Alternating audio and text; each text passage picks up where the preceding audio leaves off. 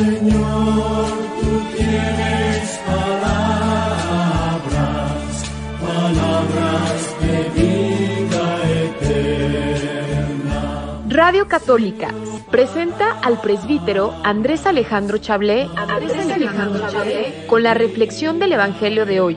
Escuchemos, una estrella que ilumina tu camino. Shalom, hermanos y hermanas, bienvenidos a este viernes 16 de septiembre del 2022. Hoy celebramos con toda la Iglesia Universal a los santos Cornelio, Papa, y Cipriano, obispos, mártires. Estos dos personajes que celebramos hoy vivieron el tiempo de la persecución contra los cristianos. La persecución de los cristianos que comienza por parte del Imperio Romano a partir del año 70, cuando el emperador Nerón acusa a los cristianos de haber prendido fuego a la ciudad de Roma, pretexto para perseguir a los cristianos. Esta persecución dura hasta el año 313, cuando el emperador Constantino decide acoger a los cristianos, a la iglesia perseguida, y protegerla desde el Estado.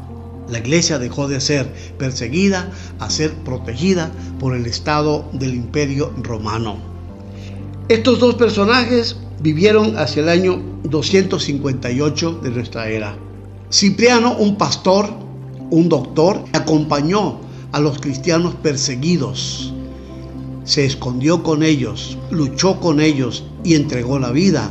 Este papa, Cipriano, murió también dando la vida en el mismo tiempo, se ganó el respeto y la amistad de todos los demás cristianos y obispos, Cornelio y Cipriano, hoy son dos santos que recordamos nosotros los católicos con veneración, dado que les tocó vivir un tiempo muy difícil y entregaron la vida por la causa del Evangelio y de Cristo resucitado.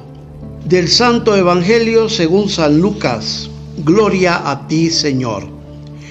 En aquel tiempo Jesús comenzó a recorrer ciudades y poblados predicando la buena nueva del reino de Dios.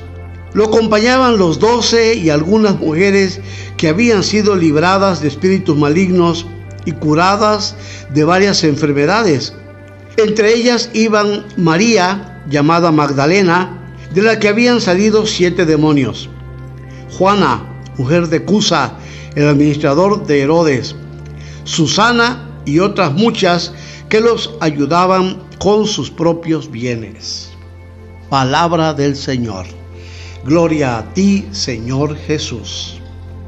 Hermanos y hermanas, el Evangelio de San Lucas que hemos escuchado hoy, este pasaje del capítulo 8, versículos del 1 al 3, es uno de los pasajes que podíamos considerar más genuinos de las narraciones de Lucas o Lucanas, como le llamamos técnicamente a este Evangelio. Esta narración lucana es el que menciona los nombres de algunas mujeres que acompañan a Jesús.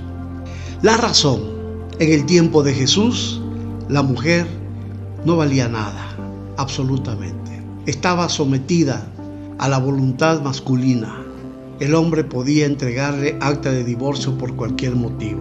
Había 613 leyes en el Talmud judío de la época de Jesús que permitía al hombre despedir a su mujer por cualquier motivo. Incluso hay una pregunta que le hacen a Jesús en el Evangelio de San Lucas, Mateo, Marcos.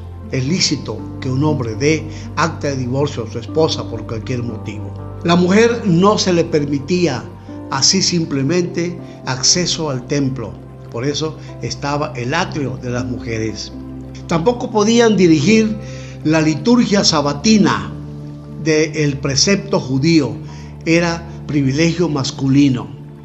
Las funciones del templo, de la religión, los teólogos, los doctores, los maestros de la ley, los sumos sacerdotes eran varones, no podían ser las mujeres. Menos profetizar la mujer no podía ser profetisa.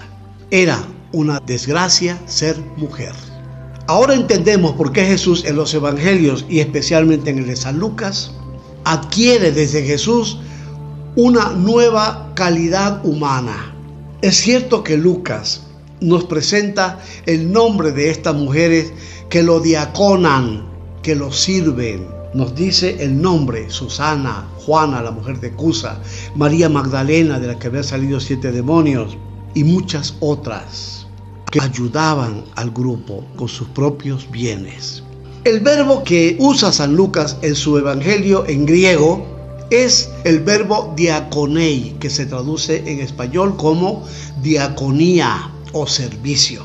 La diaconía no es simplemente un servicio físico, lavar ropa, hacer la casa, cuidar, eh, limpiar, etc. Eso es muy digno, por supuesto, pero no se refiere a eso. La diaconía es el servicio al amor, a la fraternidad, al reino.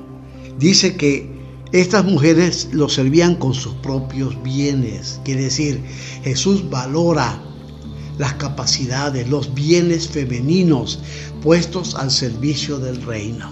La mujer tiene que ser incluida en la tarea de la evangelización, de la catequesis, de la liturgia, de toda la actividad pastoral de la comunidad cristiana. Shalom, hermanos y hermanas, hasta el próximo comentario. Señor, tú tienes palabras